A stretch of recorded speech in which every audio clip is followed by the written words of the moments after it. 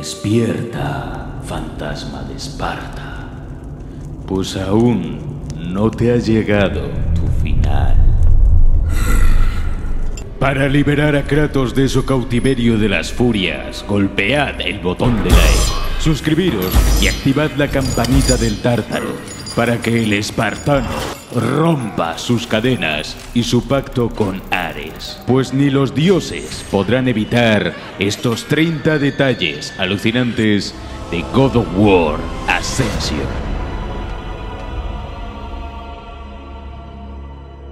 Existe un mural que podremos encontrar en el capítulo 14 en una de las habitaciones de la cisterna, donde aparece retratado lo que podría ser el Olimpo en llamas, acompañado de un misterioso mensaje cifrado que cambiará dependiendo del idioma del juego. Si lo desciframos, esas letras componen las palabras sol, ave, toro, león y sol. Cada palabra se corresponde con cada uno de los sellos que hay en las cercanías. Si nos ponemos sobre cada uno de ellos y pulsamos R1 en orden, la pintura se transforma transformará en otra y revelará el siguiente mensaje. Cuando la Tierra se detenga, comenzará el viaje. La solución a este enigma puede ser interpretada de muchas maneras pero a la que muchos fans apuntaban en aquel momento es que esto era una pista sobre God of War 4, o al menos de la idea preconcebida que se tenía de él años antes de que se empezara a trabajar en el God of War de 2018.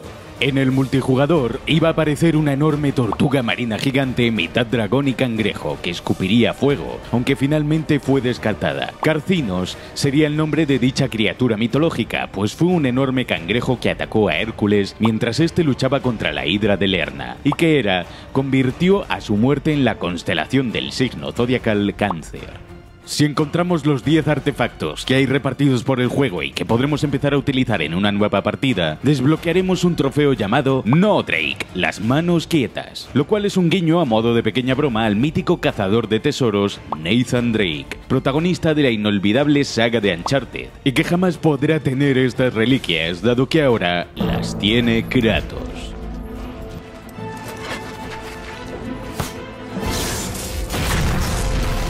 Los ojos de la verdad se llaman así porque vislumbraron la ambición de Ares y su plan secreto de conquistar el Olimpo. Pero lo cierto es que guardan relación directa con Aletheia, cuyos ojos fueron arrancados y escondidos como los ojos de la verdad. Y es que Aletheia significa en griego verdad, o lo que es verdadero. Dicho término fue acuñado por el filósofo Parménides en su poema sobre la naturaleza y que expuso que la verdad, aunque oculta, se hace evidente a sí misma. En God of War Ascension tenemos la oportunidad de ver una de las pocas veces en las que el espartano sonríe en la saga. Esto sucede cuando este ve a su hija Calíope en una visión dialecto. Kratos dedica una sonrisa de añoranza a su hija, pese a que sabe que es una ilusión. Y es que este solo ha llegado a sonreír en el primer God of War y en el último.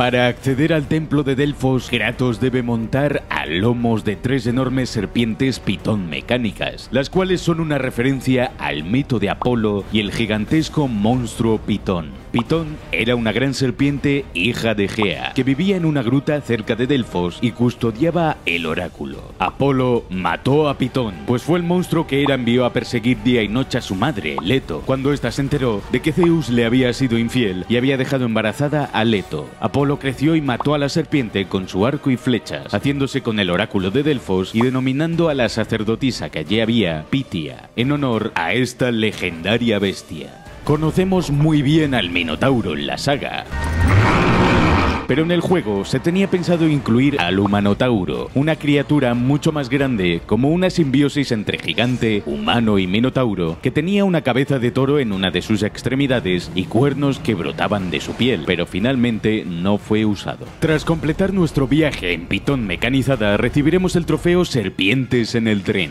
una referencia a la mítica película de Serpientes en el avión, donde los pasajeros de un vuelo eran atacados por serpientes asesinas que siembran el caos y el terror entre la tripulación.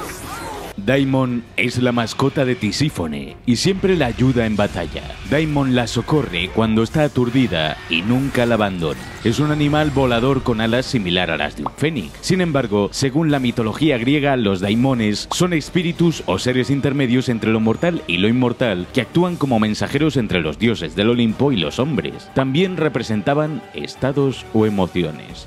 La pelea contra Castor y Pollux está plagada de referencias y curiosidades. Por ejemplo, que cuando les golpeamos, estos envejecen con cada golpe volviendo a su edad original o que Pollux tiene mayor poder y control sobre el amuleto de Uroboros, llegando a controlar el cuerpo de su hermano mientras Castor está inconsciente.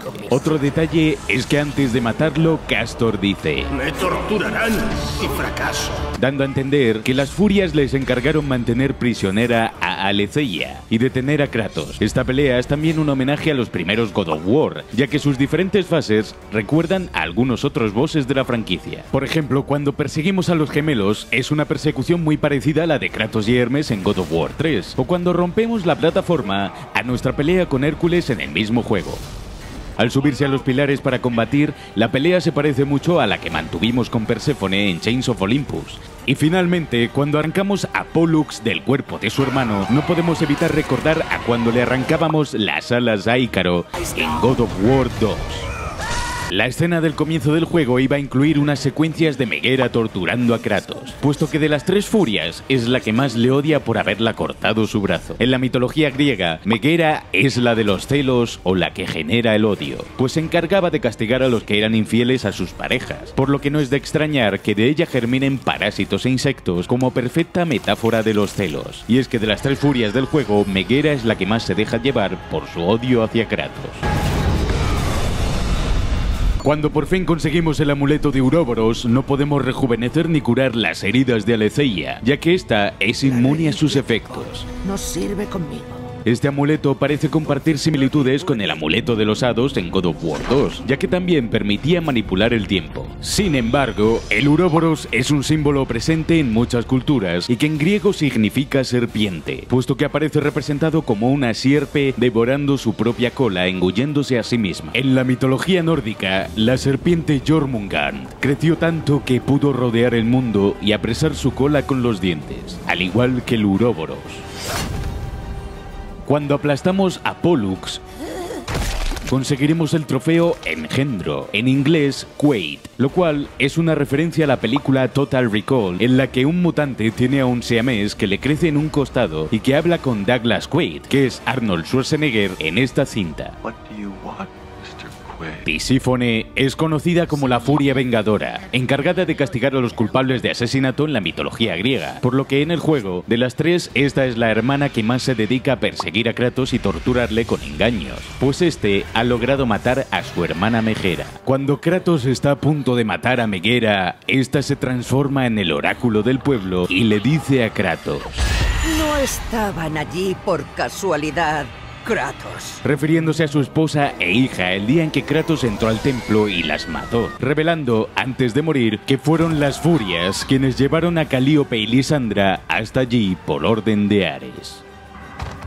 Charybdis es la forma de bestia que toma Alecto al final de God of War Ascension y que originalmente Kratos iba a combatir al comienzo, y su nombre iba a ser Cryptus. Finalmente se optó por Charybdis, uno de los dos monstruos marinos de la Ilíada, en el que Ulises debía cruzar un estrecho que obligaba a cada barco a navegar cerca de uno u otro monstruo. De hecho, donde Kratos pelea es muy parecido al mito original, pues se decía que las olas de Charybdis hundían y arrastraban los barcos hacia el fondo del mar, en un vórtice de tempestad y muerte.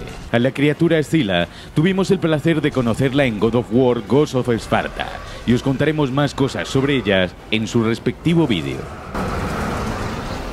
Los cofres ocultos son conocidos por todos en la franquicia, pero siempre en cada entrega hay un par de cofres ultra secretos que se les escapan a los mortales como este en el capítulo 11, escondido tras una falsa pared que debemos derribar. Este que aparece tras una puerta al accionar el siguiente mecanismo, e incluso algunos escondidos en calles y callejones que parecían inaccesibles.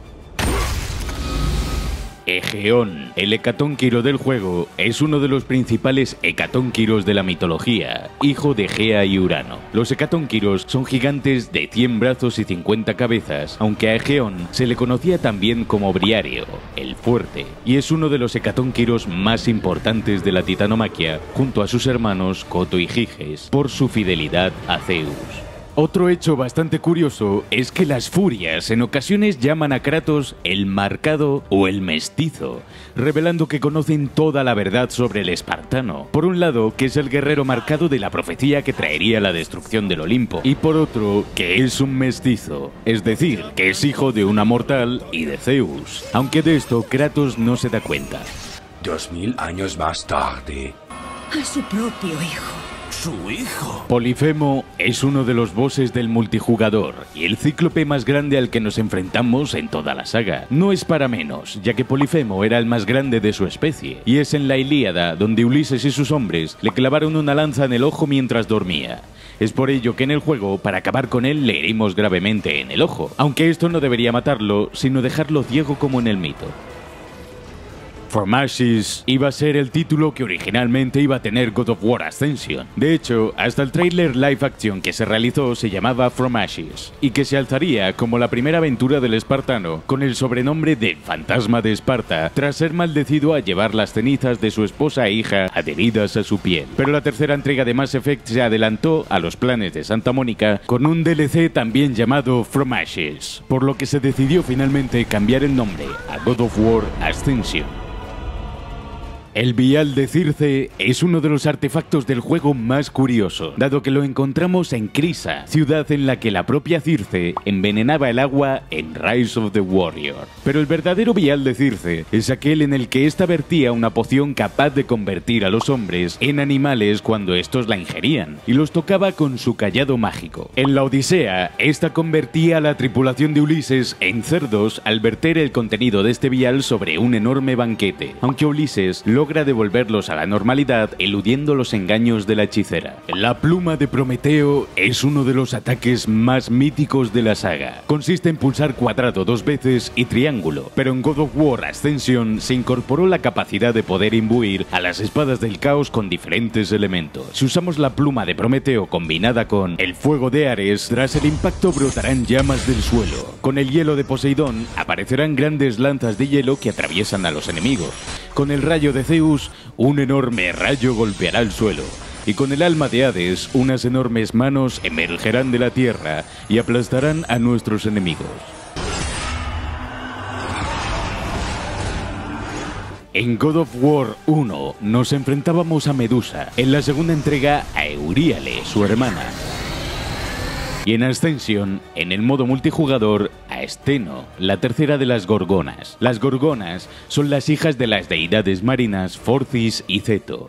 Steno era conocida por ser la más agresiva de las tres hermanas y la que mayor fuerza física y psíquica poseía, por lo que su mayor habilidad era manipular por medio de sus poderes a los hombres. El nivel de detalle es tan elevado que hasta los enemigos y el propio Kratos se reflejan en tiempo real en los suelos de mármol pulido del templo de Delfos. Incluso hasta los botones de acciones como R1 aparecen reflejados en el suelo. Los gigantes originalmente iban a aparecer en el juego, unos enemigos titánicos con pétreas armaduras y enormes lanzas a medida, que en principio iban a contar con hasta tres fases o tipos de gigante, el vivo con una armadura completa que le cubría la cara, el no muerto y otro tipo de gigante no muerto imbuido con magia de algún tipo que prometía ponernos las cosas bastante difíciles. Los hiperbóreos eran según la mitología griega los gigantes que vivían más allá de la región de Bóreas, en las regiones más frías de la Tierra, coincidiendo con los mitos nórdicos. Los tesoros perdidos que Orcos entrega a Kratos poseen el símbolo de la Omega, del alfabeto griego que representa el final. Ambos tesoros hicieron su aparición en el tráiler live action From Ashes, que fue lanzado durante la Super Bowl de 2013. La idea de un cíclope con cuernos ya se quería incorporar en Chains of Olympus, y para Ascension se realizaron varios diseños e incluso modelos de personajes 3D de este mismo tipo de cíclope, pero de nuevo fue desechado, al igual que el sátiro con corneta y similares, como el bruto sátiro o el capitán sátiro que nunca llegaron a ver la luz en el juego. Alecto, la última de las furias, era la implacable y la encargada de condenar los delitos morales como la cólera, la ira, la soberbia, y su cometido era hacer enloquecer hasta morir a sus víctimas, haciéndoles ver todo aquello que nunca podrán conseguir. En el caso de Kratos, a su mujer y a su hija asesinadas por él mismo. Llevo demasiado tiempo lejos de aquí. God of War Ascension es uno de los juegos más distintos del resto de entregas por los siguientes motivos. No tiene minijuegos eróticos, aunque sí que contiene desnudos, y es uno de los pocos juegos de la saga en los que Kratos no recibe la ayuda de Atenea ni esta aparece de ninguna forma. Además, es el único juego de la franquicia en el que en el menú de inicio no aparece el rostro de Kratos y podemos elegir los capítulos del juego. Esta entrega también elimina algunas costumbres míticas de la saga, como los puntos de guardado, sustituidos ahora por el guardado automático. Y junto con God of War Betrayal, son los dos únicos juegos de la saga God of War cuyo boss final no es un dios, dado que en Betrayal nos enfrentamos a Cerix, hijo de Hermes y semidios, y en Ascension a Alecto, una de las furias con la forma de Caribdis. Muerte no te liberará de esta locura. Lo has hecho muy bien, espartano. Has acabado con las terribles furias, pero para romper definitivamente tu pacto con Ares debes darle a like, suscribirte y activar la campanita de la penitencia para matar a orcos, quedando así liberado, aunque jamás lograrás librarte de ti mismo.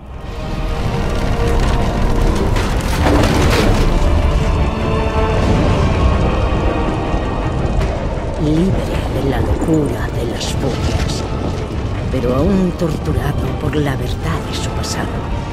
Kratos dejó el único hogar que había conocido y se dispuso a enmendar todos sus errores.